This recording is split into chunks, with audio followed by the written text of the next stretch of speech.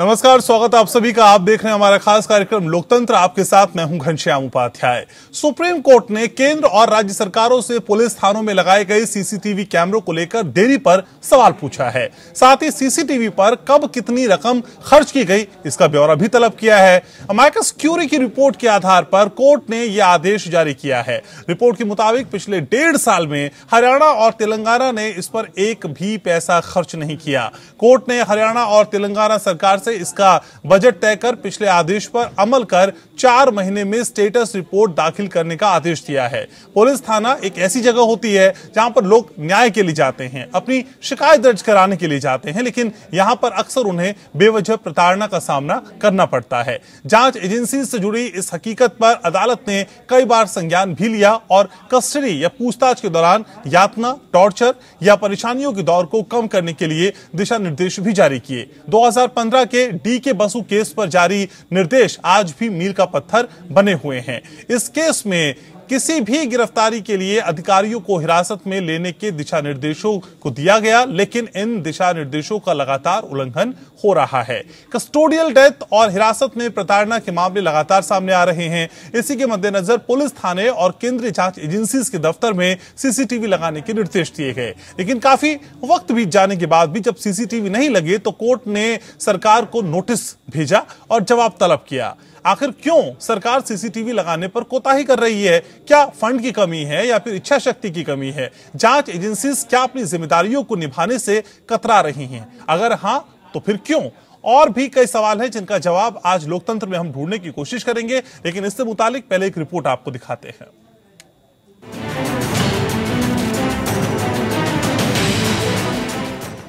CBI, प्रवर्तन निदेशालय। NCB और एनआईए जैसी केंद्रीय जाँच एजेंसीज में सीसीटीवी लगाने के मामले में सुप्रीम कोर्ट ने केंद्र सरकार को फटकार लगाई है। सुप्रीम कोर्ट ने कहा है कि हमें ऐसा लग रहा है कि सरकार अपने पैर पीछे खींच रही है। अदालत ने कहा है कि ये नागरिकों के मौलिक अधिकारों से संबंधित है और अदालत नागरिकों के मौलिक अधिकारों को लेकर चिंतित है। वहीं शीर्ष न्यायालय ने थानों में सीसीटीवी लगाने को लेकर बिहार और मध्य प्रदेश सरकार को भी फटकार लगाई है। अदालत ने कहा है कि आपको अदालत के आदेश का सम्मान नहीं है। उच्चतम न्यायालय ने केंद्र को निर्देश दिया कि केंद्र तीन सप्ताह के भीतर कोर्ट को सूचित करे कि केंद्रीय एजेंसीज के लिए कितना फंड आवंटित किया गया है और सीसीटीवी कब लगाए जाएँगे। दरअसल, पिछली सुनवाई में justice R F Nariman, justice K M Joseph और जस्टिस अनिरुद्ध बोस ने थानों में सीसीटीवी लगाने का अपना फैसला परमवीर सिंह सैनी की याचिका पर दिया था। सुप्रीम कोर्ट ने निर्देश दिया कि राज्य और केंद्र शासित प्रदेश सरकारों को ये सुनिश्चित करना चाहिए कि उनके अधीन कार्य करने वाले प्रत्येक पुलिस स्टेशन में सीसीटीवी कैमरे स्थापित हों। न्यायमूर्ति आर एफ़ नरिमन की अगुवाई वाली पीठ ने कहा है कि इन निर्देशों को जल्द से जल्द लागू किया जाए। पीठ ने सीसीटीवी लगाने पर निर्देश जारी किए थे। पुलिस स्टेशन के सभी प्रवेश और निकास बिंदुओं पर सीसीटीवी कैमरे लगे हों। जिन सीसीटीवी सिस्टम को स्थापित किया जाना है, उन्हें नाइट विजन से लैस किया जाना चाहिए। आवश्यक रूप से ऑडियो के साथ साथ वीडियो फुटेज भी होना चाहिए। सीसीटीवी कैमरे के डेटा 18 महीने की अवधि के लिए संरक्षित रहे। सीसीटीवी के रखरखाव और रिकॉर्डिंग की ज़िम्मेदारी संबंधित थाने के एसएचओ की होगी। कोर्ट ने ये भी कहा कि राज्यों केंद्र शासित प्रदेश के प्रत्येक ज़िले में मानव अधिकार न्यायालय स्थापित किए जाने चाहिए। आयोग और न्यायालय इसके बाद अपने सुरक्षित रखने के लिए घटना के संबंध में तुरंत सीसीटीवी कैमरा फुटेज को तलब कर सकता है, जो कि इसके बाद की गई शिकायत को आगे बढ़ाने के लिए एक जाँच एजेंसी को उपलब्ध कराया जा सकता है। ज़ाहिर है कि जिस तरह से थानों में आरोपियों के साथ मानवाधिकार हनन के मामले सामने आते हैं, उस पर लगाम लगाने की बजाय केंद्र का कोताही वाला रवैया चिंता का विषय है। ब्यूरो रिपोर्ट एपीएन न्यूज़ तो इस देरी की वजह आज ढूँढने की कोशिश करेंगे। आखिर किस तरह की हिला हवाली है कि सरकार वाकई इस तरफ़ संजीदा नहीं है? मेरे साथ कुछ खास मेहमान जुड़ रहे हैं, परिचय मैं आपका करा दूँ। मेरे साथ जुड़ रहे हैं एके जैन, पूर्व पुलिस महानिदेशक है। राजेश शर्मा मेरे साथ जुड़ रहे हैं, वरिष्ठ अधिवक्ता सुप्रीम कोर्ट। अभिषेक अत्रे मेरे साथ जुड़ रहे हैं, वरिष्ठ अधिवक्ता सुप्रीम कोर्ट। मंजुला गुप्ता मेरे साथ जुड़ रही है, अधिवक्ता सुप्रीम कोर्ट। आप सभी का बहुत बहुत स्वागत। शुरुआत अत्रे साहब आप ही से करूँगा। सर डिटेल में बताइए जरा पहले कि कोर्ट ने क्या कुछ कहा है सरकार को इस संबंध में? देखिए कोर्ट ने इस मामले में अभी दो दिसंबर को एक जजमेंट पास किया था। जी। उसमें डायरेक्शंस दी थी बहुत सारी कि आप सब जगह सारे पुलिस जितने सेंट्रल गवर्नमेंट जितनी इन्वेस्टिगेटिंग एजेंसीज हैं चाहे वो सीबीआई हो ईडी हो पीआरआई हो या एनआईए है आज सब में एग्जिट और एंट्री पॉइंट पे हर एक रूम में टॉयलेट्स वगैरह के व्यवहार भी उनकी ऑडियो वीडियो रिकॉर्डिंग अठारह महीने तक की रिकॉर्डिंग की जाएगी। और सारी स्टेट को डायरेक्शन है। सिमिलरली हर एक पुलिस स्टेशन में इसी तरह सीसीटीवी कैमरा से वर्क किए जाएँगे। ये जो वीडियो रिकॉर्डिंग होगी, ये प्रिजर्व की जाएगी। अगर कोई वायलेशन आती है कोई आदमी कंप्लेंट करता है कि मेरे साथ पुलिस ने एट्रोसिटी की मारपीट की या कोई कस्टोडियल डेथ का केस आता है। हम्म। तो लोगों को राइट्स होंगे कि वो ह्यूमन राइट्स कमीशन में अप्रोच कर सकें। और बड़े बड़े पोस्टर्स लगाए जाएँगे कि ये बताने के लिए लोगों को उनके राइट अवेयर कराने के लिए वो कहाँ पे कंप्लेंट कर सकते हैं। और जैसे ही कोई कंप्लेंट आती है तो human rights commission human rights court वो तलब कर सकते हैं। वो सारी सीसीटीवी फुटेज वो रिकॉर्ड अभी कोर्ट ने डायरेक्शंस में मेनली ये कहा है, अभी मैटर पेंडिंग है कि हमने कितना बजट चाहिए, अपने हर एक का अपना बजट बना सारी स्टेट्स ने अपना किया, कुछ ने नहीं किया कि हमारा इतना बजट आएगा, इतने कैंपस लगाने हैं तो कोर्ट सेटिस्फाई नहीं थी। बहुत सारे स्टेट थे, कुछ स्टेट ने तीन तीन साल का टाइम मांगा। तो कोर्ट ने कि ऐसा तो एक साल का मैक्सिमम टाइम किया अकॉर्डिंग टू डिफरेंट स्टेट्स की जहाँ इलेक्शन हो रहे हैं, वहाँ सेशन दिया अदरवाइज़ बजट के लिए वन मंथ गवर्नमेंट इलेक्शन दिए हैं कि आप बजट एलोकेट करेंगे और विद इन थ्री मंथ और six month thereafter implement किया जाएगी। ठीक है। राजेश जी, असल में कोर्ट को ऐसा क्यों लगा कि सरकार इस पूरे मामले में अपने पैर खींच रही है? कोर्ट के इस एहसास को लेकर इस आभास को लेकर आप क्या कहेंगे? कोर्ट को ऐसा महसूस क्यों हुआ? घनश्याम जी इससे पहले कि इस बारे में बात करें कि कोर्ट ने ऐसा क्यों सोचा कि सरकार पैर पीछे खींच रही है हम्म। हमें सबसे पहले ये देखना होगा कि इसकी ज़रूरत ही क्यों पड़ी सीसीटीवी हम्म।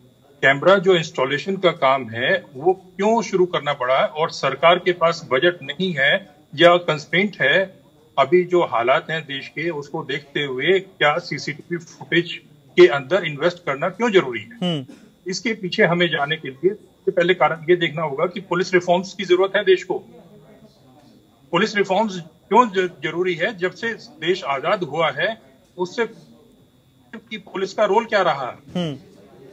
अंग्रेज़ों के जमाने में पुलिस का रोल सिर्फ़ हिंदुस्तानियों को दबाने के लिए इस्तेमाल किया जाता था।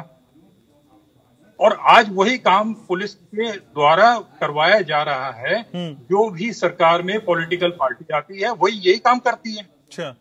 पिछले पिछहत्तर साल से हम पुलिस रिफॉर्म्स के बारे में बात कर रहे हैं लेकिन पुलिस रिफॉर्म्स क्यों नहीं होते हमारे देश का जो ह्यूमन राइट्स का जो एक रिकॉर्ड है हमें उसके बारे में भी बात करनी पड़ेगी हम्म। आप देखिए अभी लॉकडाउन के समय में क्या हुआ जो लोग सड़क पे निकल गए अपनी रोजी रोटी के लिए या अपनी जरूरतों को पूरा करने के लिए खाने पीने का सामान लेने के लिए पुलिस ने क्या ज़बरदस्त तरीके से उनको मारा है लेकिन कहीं पे भी इसके ऊपर आवाज़ नहीं उठी। कितने लोगों को मार पीट करके बिल्कुल मार दिया गया। कितने लोग मारे गए?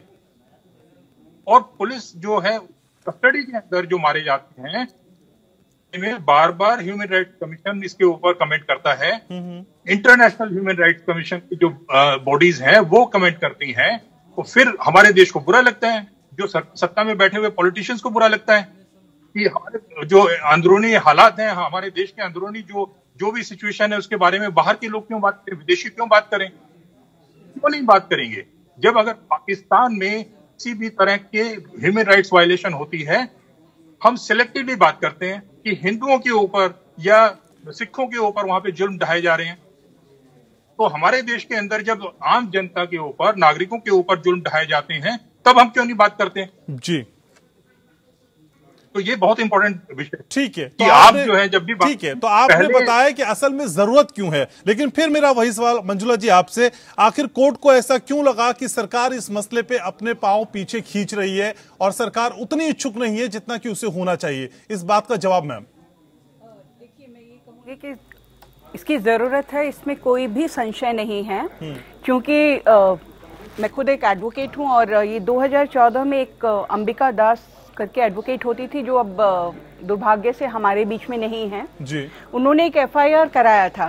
भी आ, उन, वो पुल, आ, किसी आ, कोर्ट के मैटर में ही किसी को सर्विस करने के लिए गई थी स्टे ऑर्डर और वहाँ पर वो किसी अच्छे बड़े आदमी के ऊपर अप्लाई करना था। तो उसने अपने आदमियों से और पुलिस से मिलकर उनको उनके साथ काफ़ी दुर्व्यवहार किया था। और उसके बाद उनकी एफआईआर लिखने से भी मना कर दिया था। तो उन्होंने सुप्रीम कोर्ट में याचिका डाला था। और उसके बाद ही ये हुआ था कि सुप्रीम कोर्ट ने भी ऑर्डर किया था पुलिस को कि आप उनका एफआईआर लॉन्च कीजिए बिकॉज़ पुलिस ने एफआईआर लिखने से भी उनका मना कर दिया था। तो उसके बाद से ये हुआ कि पुलिस मानने के लिए तैयार नहीं थी कि उनके साथ कोई दुर्व्यवहार हुआ है। सो कोर्ट ने भी ये महसूस किया कि इस तरह के और बहुत से केसेस कोर्ट के सामने आए थे जिसमें था कि उनके साथ दुर्व्यवहार होता है उनको कोई भी उसका सबूत नहीं होता है। बिल्कुल। सो so, कोर्ट ने कहा कि नहीं आप कम से कम सीसीटीवी है सीसी टीवी सीसीटीवी कैमराज हैं कोई उसका फुटेज आप रखिए कुछ रखिए। तो कोर्ट इज़ ये बहुत दिनों से डायरेक्ट कर रहे हैं कोर्ट को सेंट्रल गवर्नमेंट को भी एंड स्टेट गवर्नमेंट्स को भी उन्होंने अब प्लीड किया है मैटर में इन- इसको भी शामिल कर लिया है। कि आप कम से कम ह्यूमन राइट्स के वायलेशन जो, जो उनका ह्यूमन राइट्स जो है आपको सबको पता है कि हम सबको की फंडामेंटल राइट है हमारा। उसके वायलेशन को रोकने के लिए ही ये सब ज़रूरी है। ये मैकेनिज्म जो आ रहा है ये है सिस्टम को एकदम सीधा रखने के लिए कि भाई ट्रांसपेरेंसी है जो भी हो रहा है पुलिस स्टेशन में जो लोग वहाँ पर जा रहे हैं अपनी शिकायत लेके या वो सब करके उनके साथ एकदम स्ट्रेट क्या व्यवहार पुलिस करती है ये सब रिकॉर्ड हो जाए। एंड उसके बाद आप इनफैक्ट कोर्ट ने तो ये भी कहा था कि आप एक कमेटी बना लीजिए जिसके लिए custodial torture check human rights abuses को चेक हो जाए वीडियोग्राफी हो जाए उसकी वो सब करने के लिए उन्होंने कहा था। जैसा कि आपने मुझे पूछा कि क्यों ज़रूरत लग रही है अभी तक इसमें नहीं मैंने पूछा मैम कोर्ट को ऐसा क्यों लग रहा है हाँ, कि वही सरकार इससे बैकआउट कर रही वही है बता रही हूँ हाँ। क्योंकि अभी तक जितने भी एफिडेविट्स कोर्ट में फ़ाइल हुए हैं उसमें परसेंटेज बहुत कम है। बहुत ज़्यादा बहुत ही कम जगह पर ये एफर्ट्स लिए गए और जैसे अभी बताया आपके रिपोर्ट में था कि हरियाणा में और हरियाणा जैसी जगह पर तो अभी तक उन्होंने शुरू भी नहीं किया तमिलनाडु में भी में हाँ। भी उन्होंने शुरू भी नहीं किया है। सो दैट शोज़ कोर्ट को कि भाई जो कोर्ट का एक ऑर्डर है उसकी अवहेलना हो रही है सेंटर केंद्र के द्वारा और राज्यों के द्वारा भी। इसीलिए कोर्ट ने आज एक स्ट्रांग डिसीज़न लिया है। एक अच्छे से स्टेट को सेंटर को भी बोला है और केंद्र केंद्र को और राज्यों को भी बोला है कि भाई आप बताइए तो कि आप क्या कर रहे हैं बात तो जवाब तलब किया गया है कोर्ट की तरफ़ से सरकार को। हमारे साथ एके जैन भी साहब मौजूद हैं पूर्व पुलिस महानिदेशक हैं। एके जैन साहब असल में मानवाधिकार संस्था ह्यूमन राइट्स वॉच की एक रिपोर्ट है जिसका आंकड़ा मेरे पास है और वो कहीं ना कहीं राजेश शर्मा जी ने जो कहा उसे सपोर्ट करता है। सर ये आंकड़ा असल में कहता है कि भारत में साल 2010 से 2015 के बीच पुलिस हिरासत में लगभग 600 लोगों की मौत हुई और 114 पन्ने की इस रिपोर्ट में यह भी कहा गया कि इस दौरान हिरासत में किसी भी कैदी की मौत के लिए एक भी पुलिस वाले को दोषी करार नहीं दिया गया। क्या सर यही आंकड़े बड़ी वजह है कि सीसीटीवी लगने चाहिए? आपको मेरी आवाज़ आ रही? सर आ रही बोलिए। देखिए सीसीटीवी लगना एक आज की आवश्यकता है। बहुत पहले लग जाना चाहिए था। कोई फंड्स नहीं है इच्छा शक्ति की कमी है। अगर कुछ ऐसे स्थानों पर सीसीटीवी लगेंगे जहाँ पर की एंट्रेंस है जहाँ पर की पुलिस स्टेशन का ऑफ़िस है एसएचओ का कार्यालय है जहाँ पर की मीटिंग रूम है जहाँ पर की जो एप्लीकेंट आते हैं वो बैठते हैं। जी। अ, जो उनका कस्टडी रूम है सब में सीसीटीवी लगना चाहिए बहुत से थानों में लगाए गए हैं। यूपी में बहुत फैनफेयर के साथ इसको लॉन्च किया गया था। अब इस क्यों पूरा नहीं हो पा रहा है इस इस पे क्या टिप्पणी करूँ ये तो वर्तमान पुलिस अधिकारियों को देखना होगा। पर ये बहुत ज़रूरी है। इससे पब्लिक में कॉन्फिडेंस बिल्डिंग होती है और दोनों पर भी अगर कोई गलत व्यवहार कर रहा है तो वो डिटेक्ट होगा फॉर्म अगर उसकी रिपोर्ट नहीं लिखी जा रही है उसके साथ किसी प्रकार का दुर्व्यवहार हो रहा है कोई महिला बच्ची अपनी शिकायत लेके गई है उसकी पूरी रिकॉर्डिंग है ये भी डायरेक्शन है कि तक उसकी फुटेज को रखा जाए उसको संभाल के रखा जाए नाइट डिवाइस में लगाई जाए। ये सब है, ये व्यवस्थाएँ बहुत अच्छी हैं और की जानी चाहिए। मेरे जो पूर्व वक्ता हैं, जो उन्होंने एक बात कही, इस सब मैं मूल जड़ में जाना चाहूँगा। अभी भी हम अठारह सौ इकसठ के पुलिस एक्ट में गवर्न हैं सुप्रीम कोर्ट की पाँच headed by chief justice of India उसमें बिल्कुल पुलिस रिफॉर्म के लिए स्पष्ट आदेश बिल्कुल क्लियर डायरेक्टिव है सारे स्टेट्स के लिए कि उसको लागू किया जाना चाहिए। प्रकाश सिंह कमेटी रिपोर्ट की। जिसपे आज तक किसी स्टेट उसको लागू नहीं किया है। अगर वो हम लागू करते हैं जिस प्रकार से कोर्ट से है उस प्रकार से पुलिस भी इंडिपेंडेंट रहेगी और इन सब की आवश्यकता ही नहीं होगी। पर यह है कि इच्छा शक्ति की कमी है सुप्रीम कोर्ट अपने ही अपने ही ऑर्डर को एनफोर्स नहीं करा पा रही है। तो ये ये कमी है जो होनी चाहिए। हम लोग हमेशा से इसकी मांग करते रहे हैं ये ब्रिटिश कॉलोनियल नहीं है। ये जो है, इसमें लोगों की एस्पिरेशन लोगों की जो भावनाएँ हैं, उनका ध्यान रख के पुलिसिंग होनी चाहिए।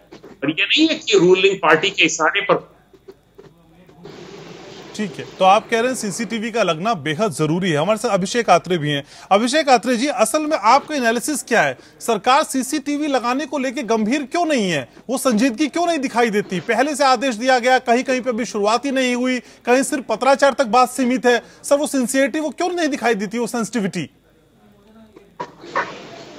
देखिए, Ghanshyam ji human rights violation ऐसा मुद्दा है जो पूरे दुनिया भर में सबके नोटिस में है। इसके लिए आज से नहीं शुरू से ही लगातार एफर्ट्स किए जाते 1948 हम्म। में ने पहली बार रेजोल्यूशन पास किया था डिक्लेरेशन ऑफ़ ह्यूमन राइट 1950 में जब हमने अपना कॉन्स्टिट्यूशन अडॉप्ट किया तो आर्टिकल 21 उसमें इंसर्ट किया गया जो right to life and property को फंडामेंटल राइट राइट इस पे 2009 में हमने 161 सीआरपीसी अमेंडमेंट आया था। 161 क्लॉज थ्री में में ये प्रोविज़न आया कि जो स्टेटमेंट रिकॉर्ड किए जाते हैं कि उसके या विटनेसेस के इन्वेस्टिगेशन के दौरान उसकी ऑडियो और वीडियो 2015 में डी के बसु का जजमेंट आया जहाँ ये बोला कि ह्यूमन राइट्स कमीशन हर एक स्टेट में होना मैंडेटरी है। हम्म। आज जो ह्यूमन राइट्स एक्ट में था कोर्ट ने उससे शेल करके इंटरप्रेट किया और बोला कि हर एक स्टेट में ह्यूमन राइट्स कमीशन बनेंगे सबको वैकेंसीज फिलअप करनी पड़ेंगी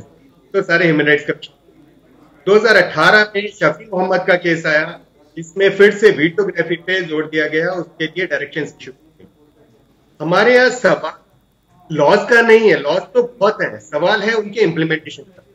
इम्प्लीमेंटेशन आज तक नहीं हो पा रही थी। अब जस्टिस नारीमन सब लेके बैठे हैं इस मैटर और उन्होंने इस डायरेक्शन एक के बाद एक इशू करनी शुरू की, और वो सबसे मांग रहे हैं एफिडेविट लेके। और अगर कंप्लाइंस नहीं होती है तो वो सेक्रेटरीज को बुलाएँगे भी और जो करना है वो करेंगे।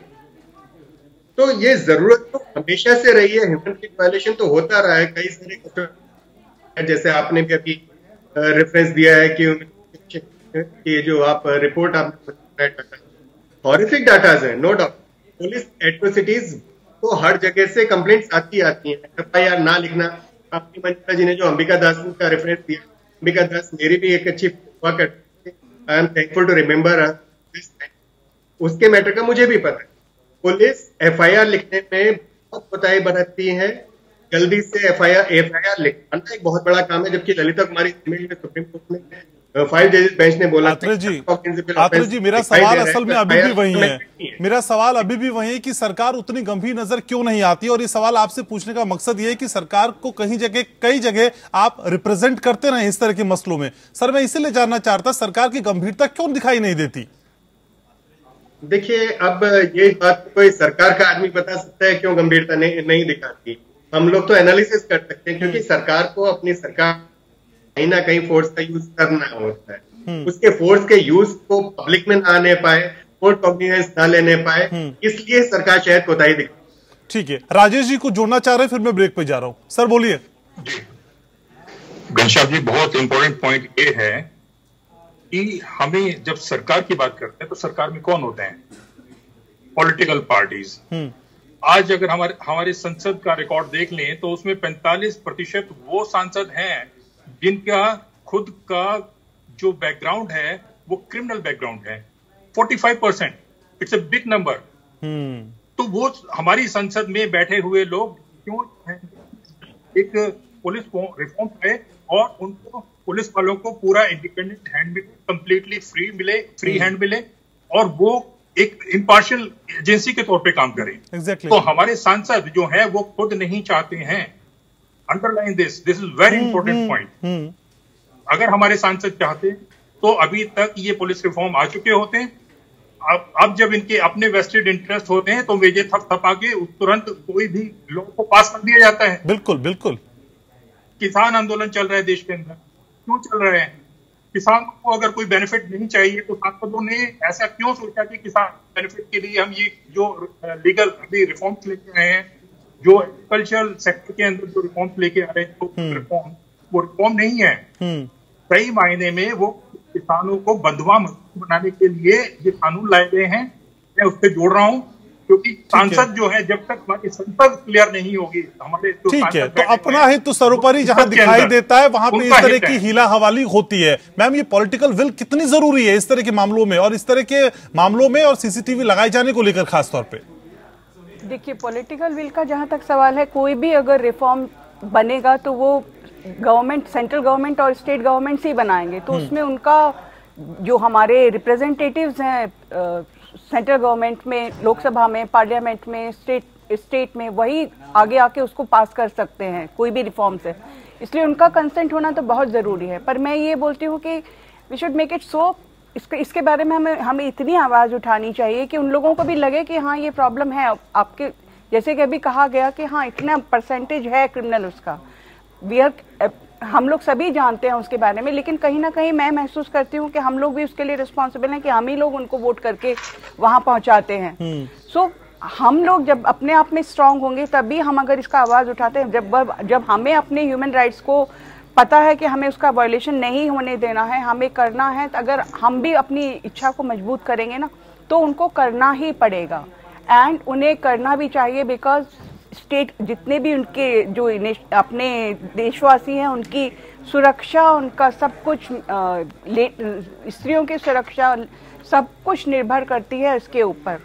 कि अगर उनके साथ कोई इंसाफ ही नहीं होगा तो कहाँ से हमारा देश आगे बढ़ेगा? देश आगे बढ़ने के लिए बहुत ज़रूरी है कि हमें ये सब रिफॉर्म्स अपनाने ही पड़ेंगे।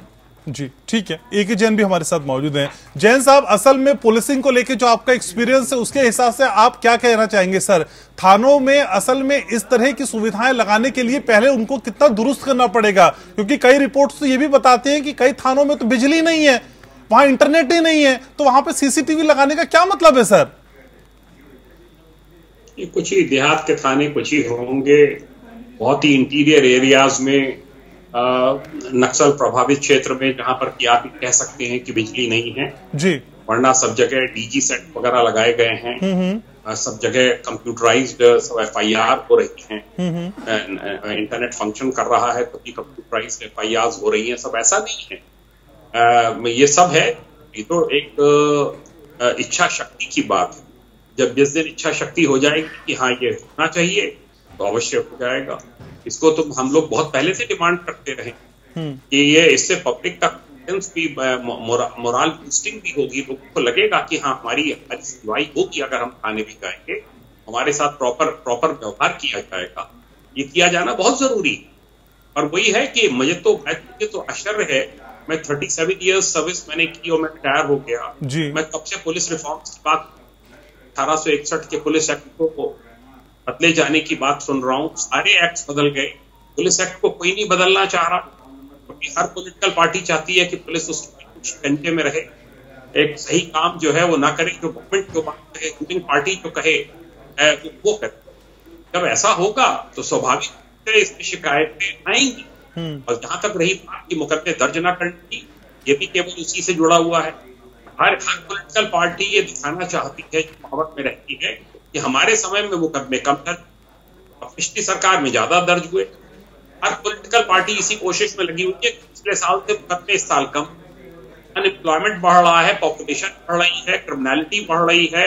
आप मुकदमे कम कैसे हो जाएँगे हम बेसिक बात को हम लोग समझने की कोशिश नहीं करते हैं इस देश में। भाई आंकड़ों पे जाना ही नहीं चाहिए। पब्लिक का परसेप्शन है। पब्लिक का परसेप्शन क्या है? पब्लिक की सोच क्या है? क्या वो ये कहती है कि हाँ साहब पुलिस बहुत अच्छी कानून व्यवस्था बहुत अच्छी है। वो वो मापदंड होते हैं। कि वहाँ पे एक रेप लिखा गया इस साल दो क्यों लिखे गए? तो मत लिखिए वो बराबर हो जाएगा।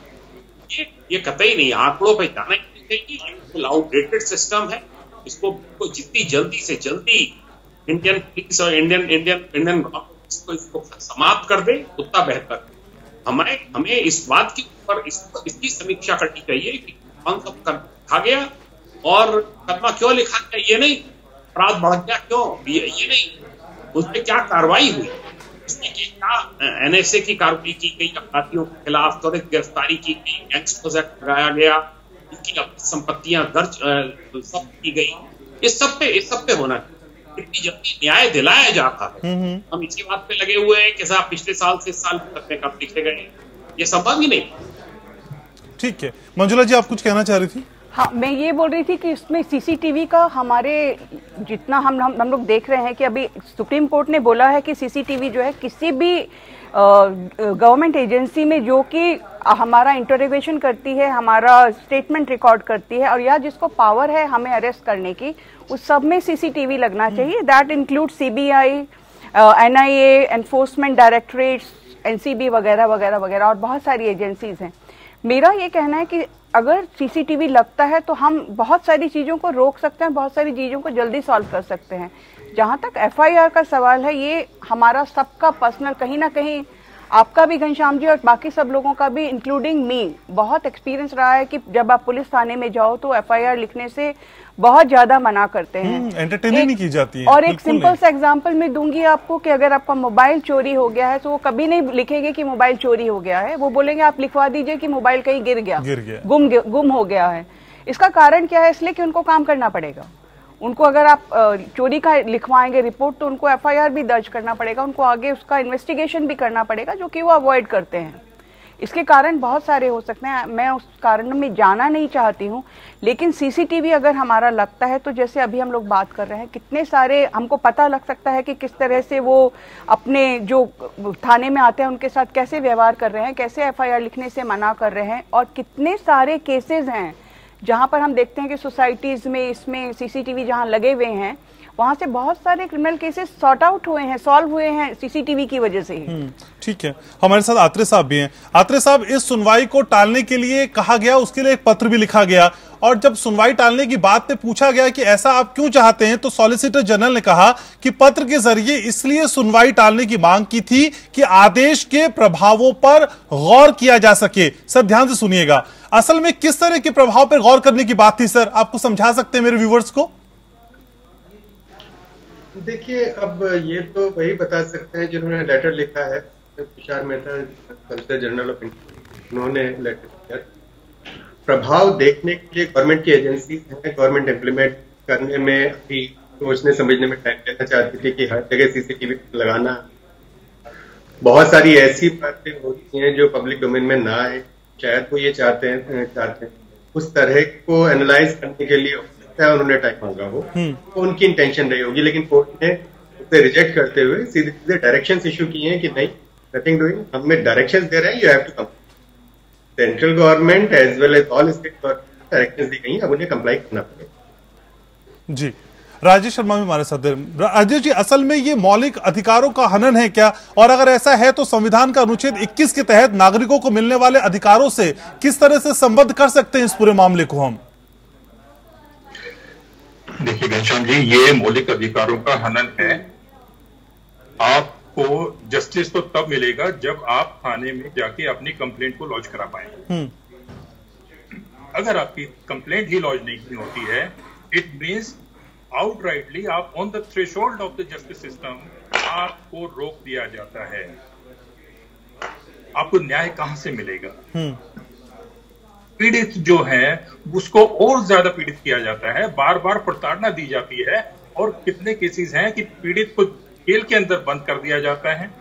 क्योंकि जो पावरफुल लोग हैं, वो पैसे के दल बल पे और किसी छल बल से, किसी भी तरीके से मसल पावर से, वो वहाँ पे राजनीतिक से कभी भी न्याय पाने के लिए, जो भी गरीब आदमी होता है, उसको न्याय नहीं मिलता है। हम्म। तो इसीलिए ज़रूरी है कि कोई भी थाना, उसके अंदर सीसीटीवी कैमरे लगे हों, उसका सुपरविजन, सीनियर ऑफिसर्स के कंट्रोल में हो, और कभी भी, जब भी कोई गरीब आदमी, कोई भी आम आदमी, कोई भी पीड़ित जब थाने में जाता है, और वो अपनी कंप्लेंट लॉन्च कराने जाता है, और उसकी कंप्लेंट नहीं होती है लॉन्च तो वो सीनियर ऑफिसर्स को अप्रोच कर पाए।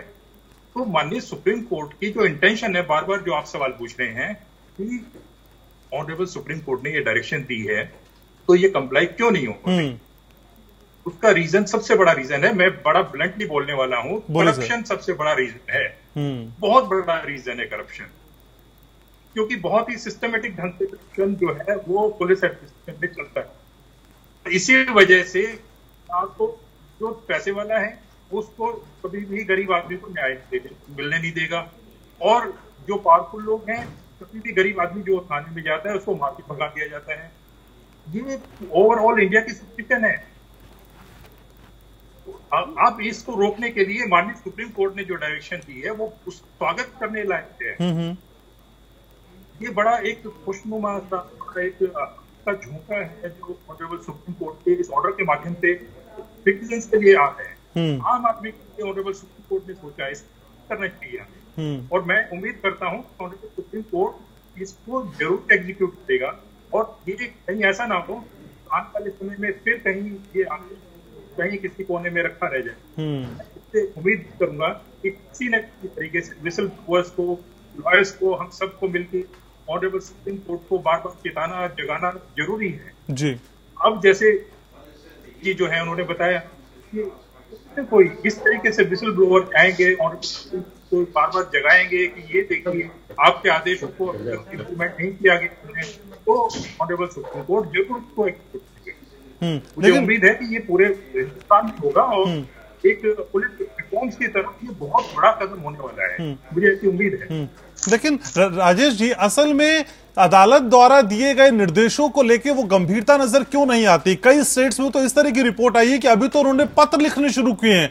अभी पत्राचारी चल रहा है सर वहाँ पे तो। अभी पत्रों का लेन देन हो रहा है। तो ऐसे में इस गंभीरता के सबब क्या है सर? आखिर अदालत किसी चीज़ को कह रही है तो राज्य सरकारें सरकार आखिर क्यों गंभीरता के साथ उसे अमल में नहीं ला रही है? ये उदासीनता का जो रवैया है ये पॉलिटिकली मोटिवेटेड होता है। हम्म।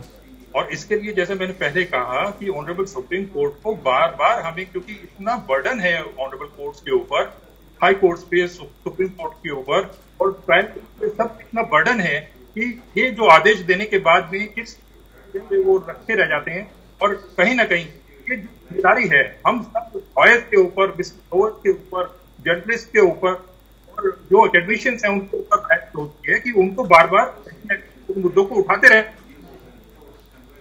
जी ठीक है। तो ये लगातार उठाती जाए बातें लगातार ग्रिल किया जाए तब जाके पूरी बात समझ में निकलती हुई आएगी। मंजुला जी आप बोलिए क्या बोल रही थी? मैं आपने जो भी पूछा था कि ये हमारा ह्यूमन राइट्स का फंडामेंटल राइट है और ये वायलेशन है कि नहीं है तो मेरा ये कहना है कि ये पूर्ण रूप से वायलेशन है ह्यूमन राइट्स का। इसका एक मैं एग्जांपल आपको देती हूँ कि जैसे ये एनफोर्समेंट डायरेक्टरेट्स है या जहाँ पर हम किस तरह इस तरह के एजेंसीज हैं जहाँ पर हम लोग उसको बिठाकर जो भी एक्यूज है या जो भी आदमी है उसका हम अगर स्टेटमेंट रिकॉर्ड करते हैं अगर वो स्टेटमेंट हम उसको अंडर प्रेशर या किसी भी तरह से किसी के दब, किसी तरह से दबाव डाल के ले रहे हैं तो वो कहाँ पर उसका जस्टिस हुआ? तो ये तो क्लियर कट फंडामेंटल राइट्स की अवहेलना है कि हमें फंडामेंटल राइट्स को हम लोग कंसीडर ही नहीं कर रहे हैं कि उस आदमी की का ये फंडामेंटल राइट है कि वो अपना कोर्ट के सामने निर्भीक होकर अपनी बात रखे। और दूसरा जहाँ तक मैं, इस, मैं मुझे ऐसे लग रहा है पूरे डिस्कशन सुनकर कि ये जो है एक रीजन में भी कि इंफ्रास्ट्रक्चर अभी हमारे देश में इतना ज़्यादा मज़बूत नहीं है। जैसे कि हम लोग अभी बात कर रहे थे कि जो रूरल एरियाज़ है वहाँ पर इलेक्ट्रिसिटी नहीं है लोग इतने ज़्यादा जानकार नहीं है इंटरनेट के प्रति या उनको इतना ज़्यादा अभी नॉलेज नहीं है कि वो इसको ऑपरेट भी कर सके। सो so, हमें वो भी एक इसकी देखने पड़ेंगे। इंफ्रास्ट्रक्चर्स की कवायद है उस तरह के लिए भी। दे मे टेक सम टाइम पर मेरा ये कहना है स्टेट को भी और सेंट्रल गवर्नमेंट को भी एटलीस्ट आप आगे तो बढ़िए कुछ कदम तो बढ़ाइए। बिल्कुल तो समय लगेगा लेकिन शुरुआत कहीं ना कहीं से तो करनी पड़ेगी। तो वो शुरुआत की ज़रूरत है और उसी को लेकर कोर्ट भी काफ़ी संजीदा नज़र आ रही है। कोर्ट की तरफ़ से दिए गए सरकार को निर्देश और ये बताने की कोशिश कि असल में कितने ज़रूरी हैं सीसीटीवी तमाम एजेंसीज में जहाँ इनकी बहुत ज़रूरत है। सभी खास हमारा लगातार हमारे साथ बने हुए ए के जैन साहब भी हमारे साथ मौजूद हैं। ए के जैन साहब वो पुलिस और न्याय व्यवस्था से जुड़े मामलों में मानवाधिकार को लेके क्या कोई सुधार की भी ज़रूरत आप महसूस करते हैं कि वहाँ पे कम से कम सुधार हो जिसकी वजह से आगे इस तरह के मसले हम ना देख पाए ज़्यादा? मैं तो आपको डिबेट के शुरू में ही कहा कि सबसे ज़्यादा ज़रूरी है जी। जिस प्रकार से जुडिशरी इंडिपेंडेंट है हमारे देश आज आप जुडिशरी को स्टेट गवर्नमेंट के अंडर में कर दीजिए। सेंट्रल गवर्नमेंट के अंडर में कर दीजिए हाई कोर्ट को सुप्रीम कोर्ट आपको उसके नतीजे साफ़ दिखाई पड़ने लगे। आप जो मैन पावर वही है। कुछ लोग पुलिस में जा रहे हैं कोई आर्मी में जा रहा है कोई पैरामिलिट्री फोर्सेस में जा रहा है और आ, कोई जुडिशरी ज्वाइन कर रहा है। तो वहाँ पे आप कह रहे हैं कि साहब न्याय मिल रहा है। यहाँ आप कह रहे हैं कि न्याय नहीं मिल रहा। तो ये तो हमको इस पे खुद ही विचार करना पड़ेगा कि उसके कारण क्या कारण बड़े स्पष्ट हैं कि कोई नहीं चाहता है कोई नहीं चाहता है कि रिफॉर्म्स हो। और ये यही यही रोना लगा रहेगा। जब इन कोर्ट में ही ये इच्छा शक्ति नहीं है कि अपने दिए हुए पाँच जजेस की बेंच पे इम्प्लीमेंट करा सके तो इसी वजह से ये लचर व्यवस्था बनी हुई है। देखिए ये जो एक था है जिसमें आपने प्रभावों की बात की कि सोलिसिटर जनरल ने इस कोर्ट में उठाया। जी। इसके रीजन ये है एनआईए सीबीआई बहुत सी एजेंसीज भी हैं, जिसमें कि बहुत से इन्फॉर्मर्स भी आते हैं, जिसमें कि बहुत से लोग जो हैं वो इन्फॉर्मेशन देने के बारे में, उनके बारे में बहुत तक आने जाते हैं।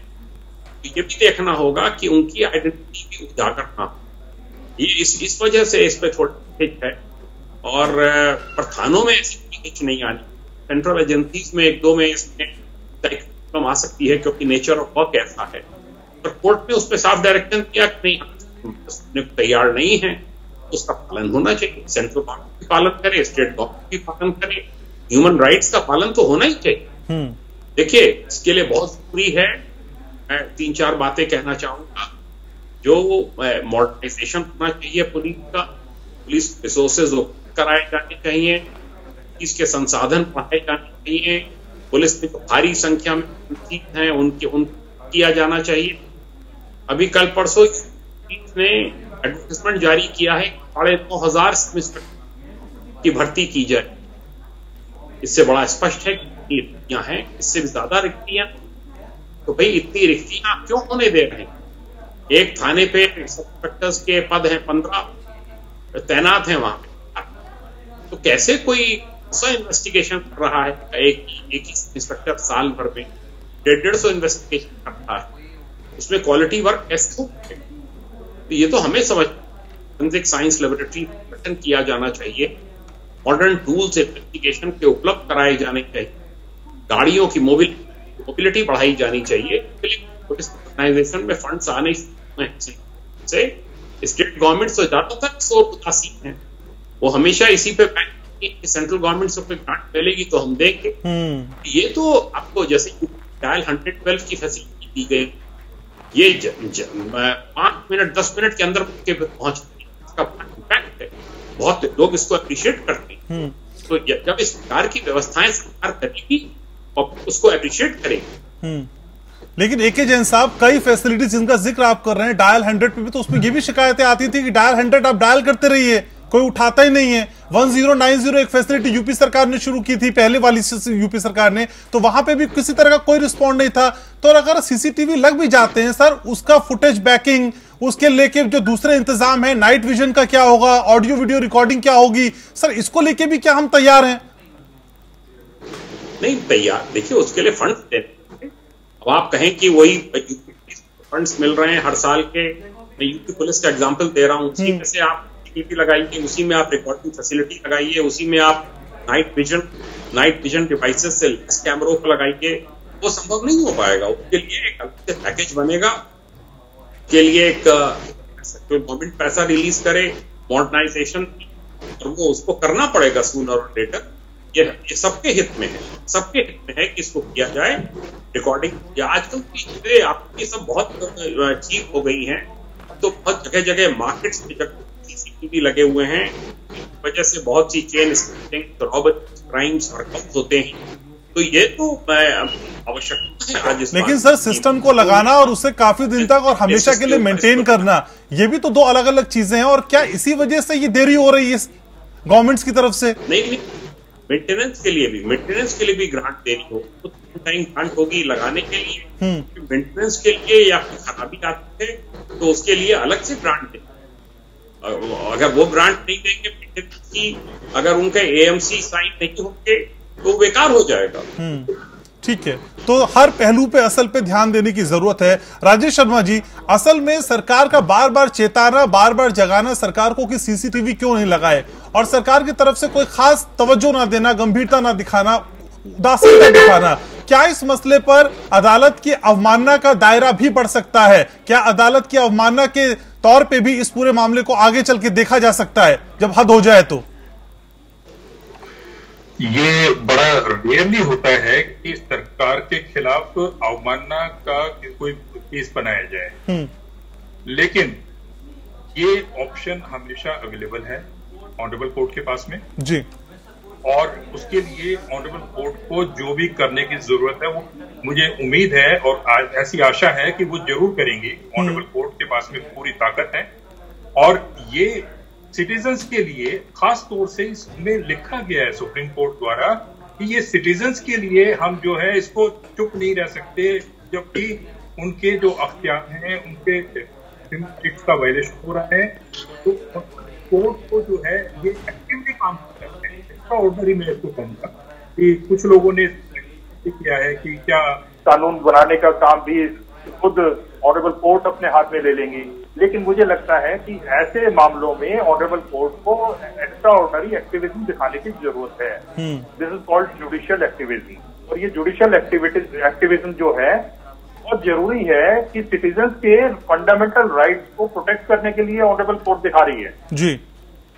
जो कि काफ़ी समय से बहुत पीछे पड़े हुए थे कहीं। फंडामेंटल राइट की अगर हम बात करें तो आप देखिए एक जज साहब को अपनी ऑर्डर शीट में लिखना पड़ा कि एक पॉलिटिकल पावरफुल पॉलिटिकली पावरफुल एक एक्यूज है और उसकी तरफ़ से जज साहब को धमकी मिल रही है। और ये धमकी साथ में ये भी मिली कि उनके खिलाफ कोई ना कोई पुलिस को मिसयूज करके केस बनवा दिया जाएगा। हम्म।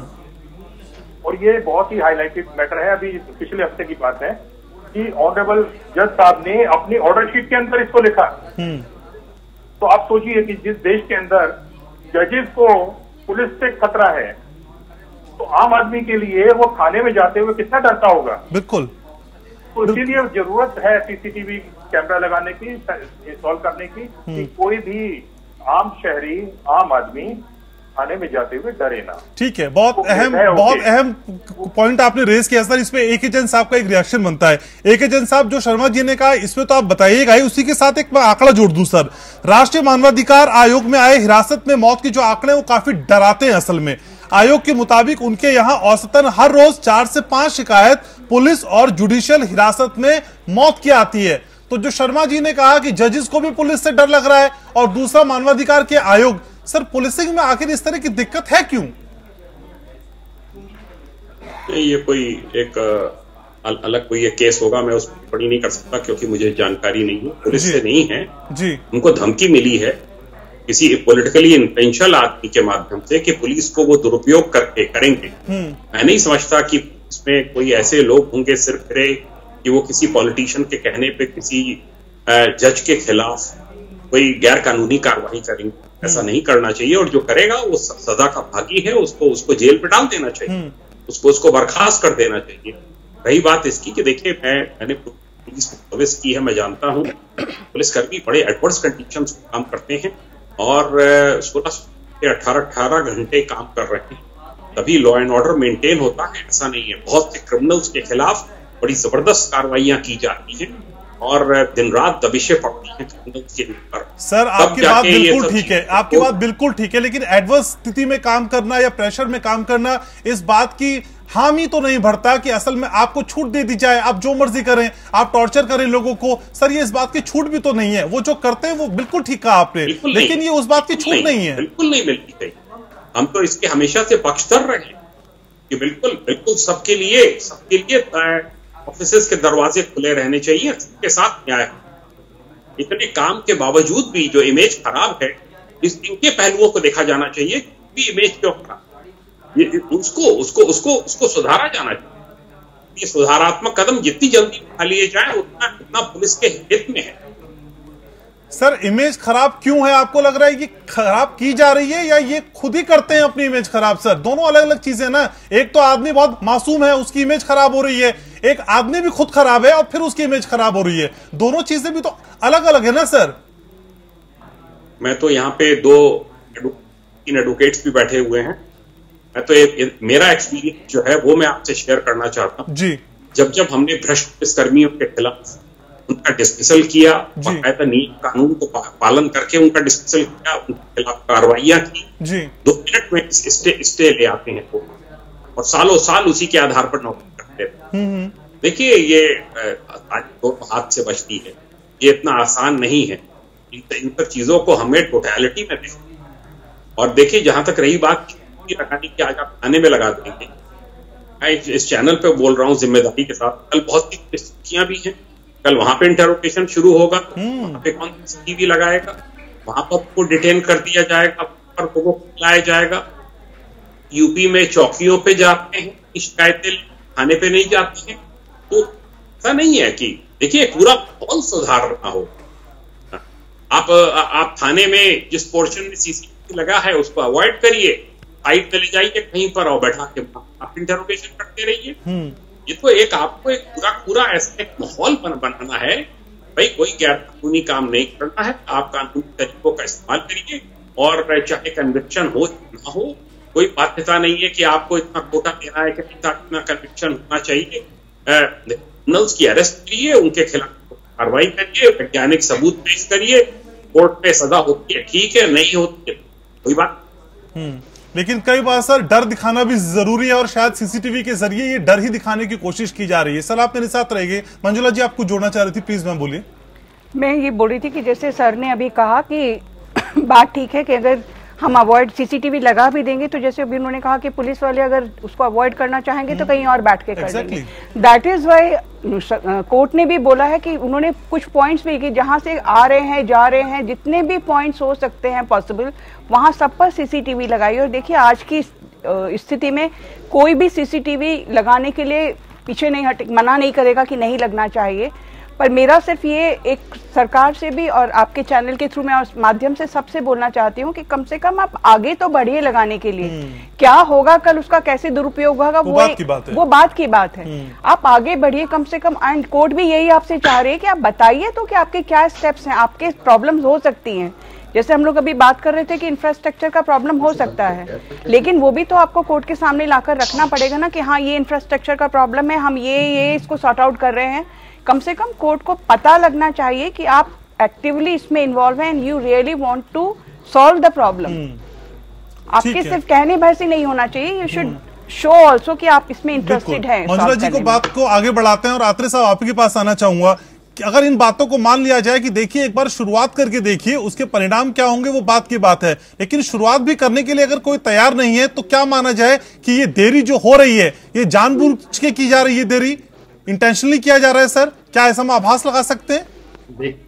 देखिए अब शुरुआत होने लगी। हो रही है कोर्ट कर रहे हैं कोर्ट ने डायरेक्शन दिए हैं। वेट कीजिए एक मैटर पेंडिंग है। कोर्ट हम्म। ने एफिडेविट मांगे हैं गौर सरकारों से। तो ऐसा नहीं है कि कोर्ट अगर करवाने पे आए तो वो करेंगे नहीं। हम्म। अभी देखिए और इस साल के अंदर अंदर सब जगह सीसीटीवी आपको मिल जाएँगे। मुझे पूरा भरोसा है वरना कोर्ट के पास सफिशियंट पावर से चीफ सेक्रेटरी को बुला के उन्हें पनिशमेंट करती तो ये सारा काम अब हो जाएगा। आपकी बेंच थोड़ा सा वेट कीजिए। लेकिन इस साल में सब कुछ अगर सही हो जाएगा लेकिन उनका क्या सर? जहाँ पे तो अभी शुरुआत ही नहीं हुई है। अभी तो पत्र लिखे जा रहे हैं एक दूसरे को। वहाँ भी ये पॉसिबल है क्या सर? कोर्ट ने डायरेक्शन दी है। एक हम्म। महीने के अंदर बजट एलोकेट करने की उसके बाद तीन महीने छह महीने में इम्प्लीमेंट करने की। हम्म। तो होगा। हम्म। ऐसा नहीं है कि हमारी कोर्ट से इतनी पावरलेस अगर करवाने पे अभी तक नहीं करवा रहे थे। नहीं कोर्ट की पावर पे कोई सवाल नहीं उठा रहा सर सर कोर्ट कोर्ट की तो... कोर्ट की शक्ति पे कोई सवाल नहीं उठा रहा असल में सरकारों की इच्छा शक्ति हम समझने की कोशिश कर रहे हैं।